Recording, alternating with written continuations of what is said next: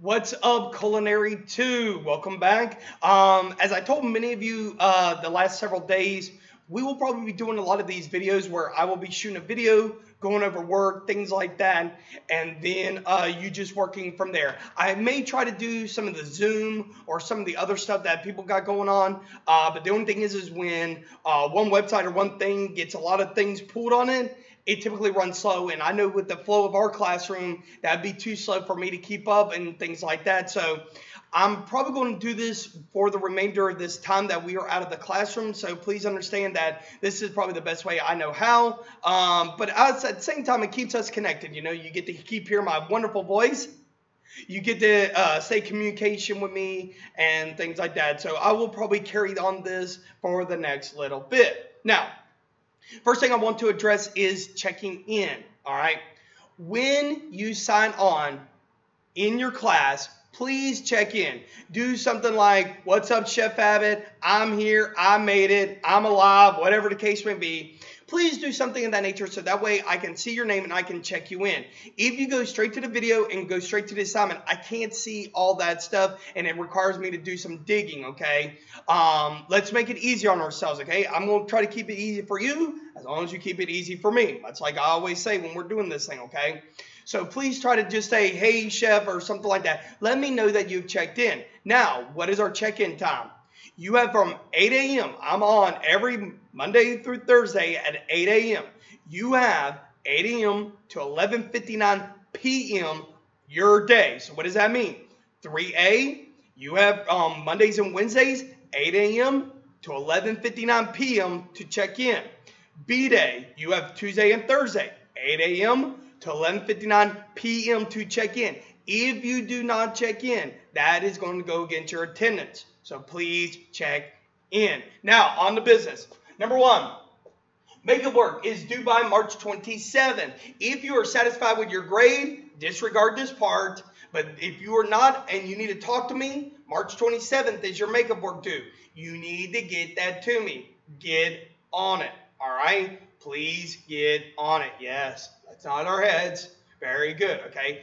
Assignment for today Culinary 2 test. As I expressed to you on Monday, the test was not that great, so I thought I would be fair and just, and I decided to not have that count against you. So what did I decide to do? I'm going to upload this test into Focus, and you're going to work on this test. Now, you may say, Chef Abbott, how do I work on this? Well, it's very simple. If you remember this little sheet of paper here, this holds all the answers to the test. Now, you may say, well, Chef Abbott, I left it at the school. That's okay. If you left that at the school, I found both of these images on Google, okay? Cooking methods, parts of the cow, meat fabrication, okay? You can find these pictures online. Please don't use this as an excuse. If you have your notes with you, awesome. If you want to work together on this, awesome. If y'all want to maintain social distancing, but if you want to call, chat, whatever the case may be, all right? Please make sure you get on it. That is your assignment. So that means that A-Day, you are watching this on March 25th.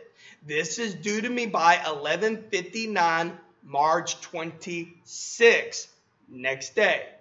B day. You're watching this on March 26th. You have till 11:59 March 27th. I'm giving everybody a full day and some to complete these assignments because I get it. You're working on English, you're working on math, you're working on all these things.